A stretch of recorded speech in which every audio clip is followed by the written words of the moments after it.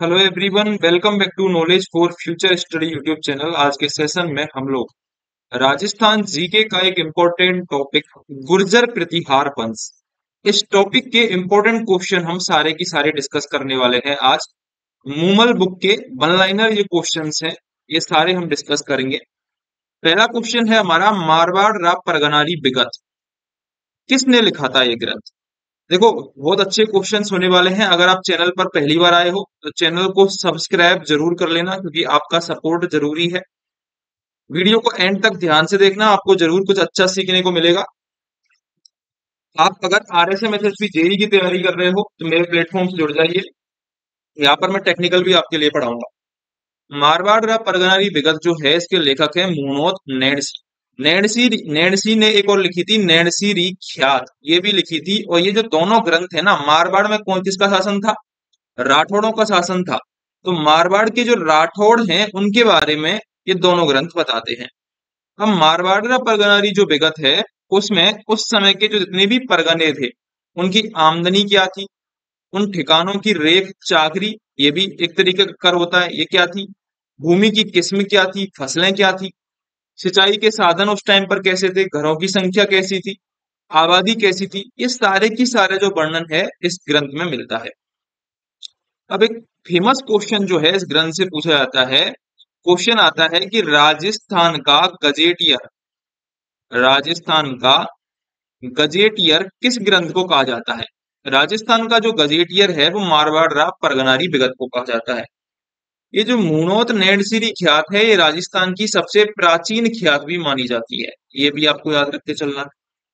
Next question Rajorgarh का शानदार कलात्मक वैभव किस युग से संबंधित है?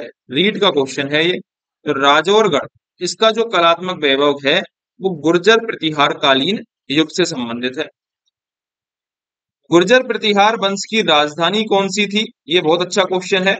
क्वेश्चन ऐसे भी आ जाता है कि पीलो मोलो किस जगह का नाम मिलता है? पीलो मोलो हम भीनमाल को कहते हैं। ठीक है? एक शिलालेख आपको पता होगा, बिजोलिया शिलालेख। कौन सा शिलालेख?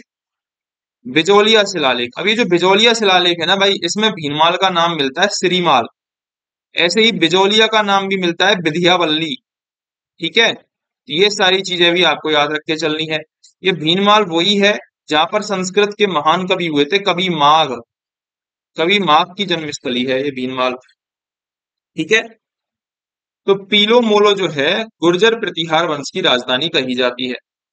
बागड़ के परमार राजवंश की राजधानी कहाँ पर थी? ये भी अपने आप में अच्छा अच्छा क्वेश्चन है। बागड़ के जो परमार राजवंश था, उसकी राजधानी थी अर्थुना में। कहाँ पर थी? अर्थुना। निम्नलिखित में से कौन सा शासक गुर्जर प्रतिहार राजवंश से संबंधित नहीं है? Nagabhata second Mahendrapala first, Devapala Bharat Bhatt. तो आंसर यहाँ पर जो है, हमारा फोर्थ ऑप्शन हो जाएगा। भरत भट्ट फ़र्स्ट जो है, वो गुर्जर प्रतिहार राजवंश से संबंधित नहीं है। नागभट्ट द्वितीय है, महेंद्रपाल प्रथम है और देवपाल है। अगला क्वेश्चन एक सूची हमको दे रखी है। एक तरफ़ शासक दे रखे हैं, दूसरी तरफ़ हमको राजवंश दे रखा है। विग्रह राज चतुर्थ की यदि हम बात करें तो बिल्कुल चौहान राजवंश से संबंधित है, ठीक है? देखो बिग्रेराज चतुर्थ वही है भाई साहब, जिसने एक नाटक रचा था, बहुत प्रसिद्ध नाटक है इसका, हरिकेली नाटक। कौन सा नाटक? हरिकेली नाटक।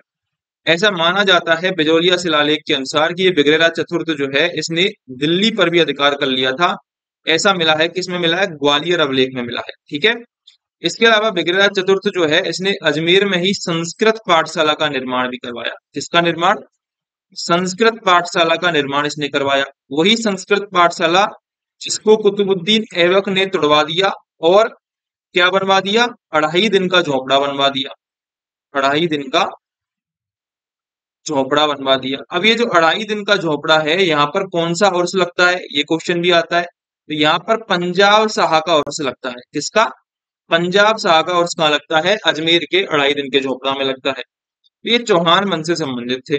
चौहान वंश के जो आदि पुरुष हैं, बिजोलिया शिलालेख के अनुसार माने जाते हैं, कौन? वासुदेव चौहान, जिन्होंने सांबर झील बनवाई थी। वो भी आपको याद रख के चलना है, ठीक है? नेक्स्ट है हरीशचंद्र। हरीशचंद्र जो है, वो प्रतिहार राजवंश से संबंधित है। बप्पा रावल को आपको पता ही होगा, गुहिल वंश के आदि पुरुष माने मतलब गुहिल वंश की स्थापना करने वाले माने जाते हैं। हरित ऋषि के आशीर्वाद से। जयचंद की बात करें तो जयचंद वही था जिसने पृथ्वीराज तृतीय का साथ नहीं दिया था और मोहम्मद गौरी को बुलाया था कि हेडवाल वंश से संबंधित था ये। ये सारे की सारे जो राजवंश हैं, ये करेक्ट करके दिए हुए हैं ऑलरेडी अगला क्वेश्चन कन्नौज पर अधिकार के लिए एक त्रिपक्षीय युद्ध चला था। उसमें राजपूताना का जो कौन सा वंश था, उसने भाग लिया। तो राजपूताना यानी राजस्थान। राजस्थान में गुर्जर प्रतिहारों का वंश था। दक्षिण की बात करें तो राष्ट्रकूट और चोल थे। ठीक है? और अगर हम बात करें पूरब की तो कोलकाता साइड की बात करें तो वहाँ पर पाल वंश था। इन तीनों के मध्य युद्ध चलता था, कन्नौज पर अधिकार को लेकर के। गुर्जर प्रतिहार जो हैं, वो राजपूताना के गुर्जर प्रतिहारों प्रतिहारों ने इस त्रिपक्षी युद्ध में भाग लिया था।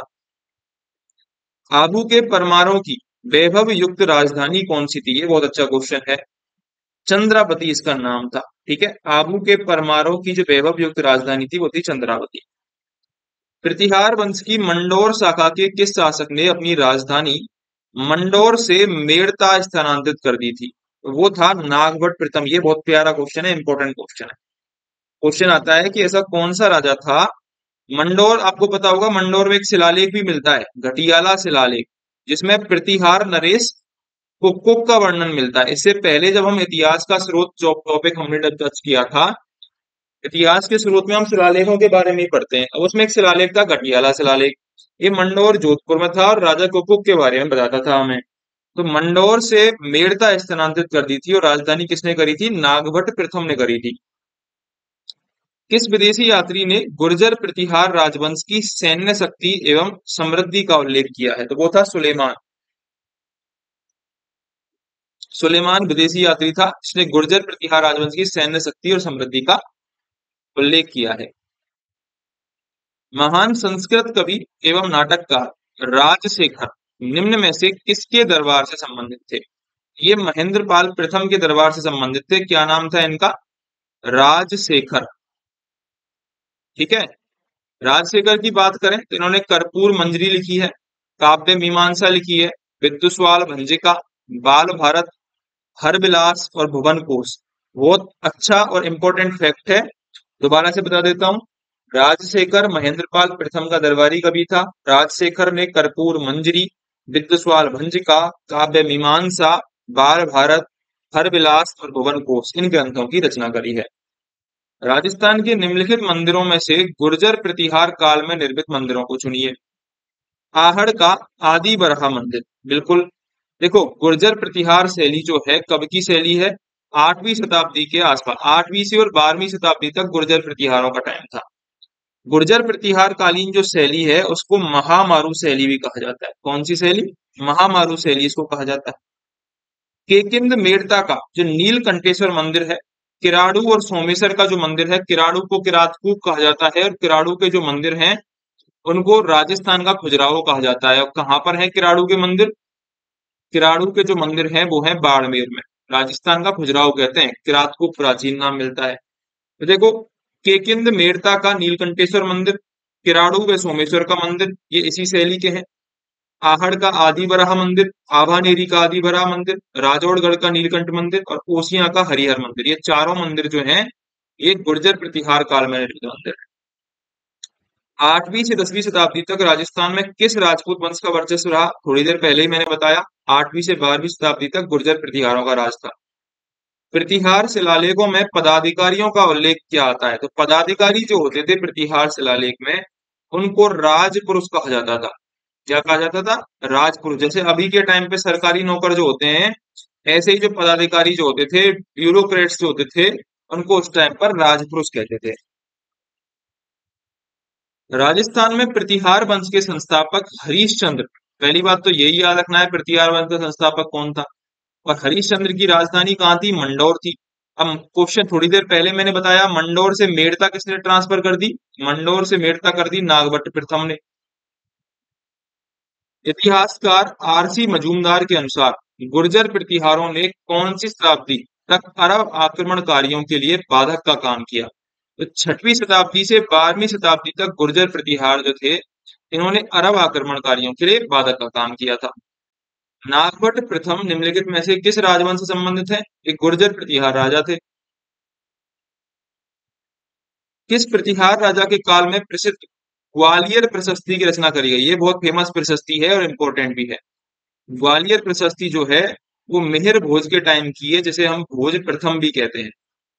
इसमें राजनीतिक उपलब्धियाँ बताई गई हैं, वंशावली बताई गई है लेकिन इसकी कोई तिथि जो है वो अंकित नहीं है। गुर्जरों को किस शासक ने पराजित किया था? एक शासक हुए थे प्रभाकर वर्धन। प्रभाकर वर्धन, इन्होंने गुर्जरों को पराजित कर दिया था। प्रथम प्रतिहार शासक जिसने परम भट्टारक महाराजा दी राज परमेश्वर की उपाधि। देखो, ये उपाधि भी कभी कभार आर एस एम एस पूछ लेता है। बहुत अच्छा क्वेश्चन है। परम भट्टारक, महाराजा धीराज परमेश्वर की उपाधि जो है वो किसने प्रदान करी थी? महेंद्र पाल प्रथम ने धारण करी थी। इस महेंद्रपाल प्रथम जो है, इसका ही कवि था कौन? राजशेखर। थोड़ी देर पहले हमने पढ़ा था जो। महेंद्र पाल प्रथम जो है, इन्होंने आठ से लेकर 910 ईस्वी तक शासन किया था। ठीक है? और उसने परम भट्टारक, परम भागवत, महाराजा धीराज, परमेश्वर ऐसी उपाधियाँ धारण करी थी। महेंद्र प्रथम ने त्रिकोणीय संघर्ष जो है उसमें बंगाल के जो पाल वंश था उसको पराजित किया था।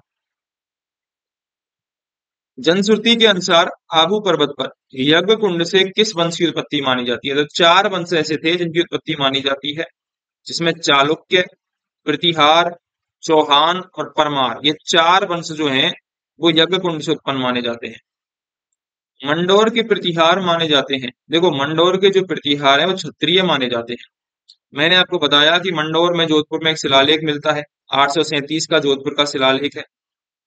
उसके बाद आठ सौ इकसठ का घटियाला का शिलालेख है। इन शिलालेखों से हरिश्चंद्र नामक जो ब्राह्मण है, उसकी क्षत्रिय पत्नी थी भद्रावती। उससे उत्पन्न पुत्र जो हुए थे, उसमें रज्जिल के वंश ने मंडोर पर शासन किया, जिसका नागभट्ट प्रतिहार जो है, प्रथम प्रतापी शासक हुआ था। ये वही नागभट्ट प्रतिहार है, जिसने मंडोर से मेड़ता ट्रांसफ़र कर ली थी। ठीक है? किस राजा के वंशज गुर्जर प्रतिहार कहे जाने लगे? नागभट्ट प्रथम के। इनका जो समय है वो सात सौ तीस से सात सौ साठ माना जाता है। जालौर, अवंती, कन्नौज प्रतिहारों की नामावली नागभट्ट से प्रारंभ होती है। नागभट्ट जो है, इनको नागाब लोग भी कहते हैं। क्या कहते हैं? नावा नागाब लोग भी कहा जाता था। ग्वालियर प्रशस्ति में इसे नारायण कहा गया है। क्वेश्चन आ सकता है। ग्वालियर प्रशस्ति में नारायण किसे कहा गया है? और ये क्वेश्चन तो पूछा भी जा चुका है कि मलेच्छों का नाशक किसे कहा जाता है? मलेच्छ यानी कि जो बाहर के आक्रमणकारी थे। मलेच्छों का नाशक जिसे कहा गया है? नागभट्ट प्रथम को कहा गया है। आदि बराह की उपाधि जिस राजपूत शासक ने धारण करी, वह कौन सा था? तो वो था मेहर भोज। इन्होंने आदि बराह की भी धारण करी थी और प्रभास की उपाधि भी धारण करी थी। और आदि बराह से संबंधित इन्होंने सक्रिय भी चलाए थे। आबू के परमाणु की प्राचीन राजधानी कौन सी थी? चंद्रावती। जोधपुर के निकट ओसियाँ जो है, वहाँ पर मंदिरों का समूह जो है, वो प्रतिहार शासकों की देन माना जाता है। वहाँ पर जैन मंदिर मिले हैं। इसके अलावा सच्चिका माता का मंदिर भी है वहीं पर। ठीक है? सूर्य मंदिर भी है ओसिया में। हरिहर मंदिर भी है ओसिया का। गुर्जर प्रतिहार शासक किस नाम से भी जाने जाते हैं? तो ये अग्निकुंड से प्रकट हुए थे तो अग्निकुंडीय अग्निवंशीय राजपूत भी माने जाते हैं। मुनोत नैणसी जो है, इन्होंने गुर्जर प्रतिहारों की कितनी शाखाओं का वर्णन किया है? तो मुनोत नैणसी ने 26 शाखाएँ जो हैं, उनका वर्णन किया है। ओसिया में महावीर स्वामी को समर्पित जैन मंदिर। अभी थोड़ी देर पहले ही बात कर रहा था कि ओसिया में जैन मंदिर है। किसने बनवाया? तो ये वत्सराज प्रतिहार के टाइम का है। वत्सराज प्रतिहार के टाइम का मंदिर है तो ये हमारे क्वेश्चन जो थे, उनतीस क्वेश्चन जो थे, ये हमारे गुर्जर प्रतिहार राजवंश से संबंधित थे। ठीक है? कम ही क्वेश्चन पूछे गए हैं, क्योंकि ज़्यादातर जो हमारा है, मेवाड़ राजवंश जो है, उससे क्वेश्चन पूछे जाते हैं। मेवाड़, मारवाड़ और जयपुर वाला राजवंश। तो अगर आपको क्वेश्चन हेल्पफुल लगे हो, सब्सक्राइब कर देना। धन्यवाद।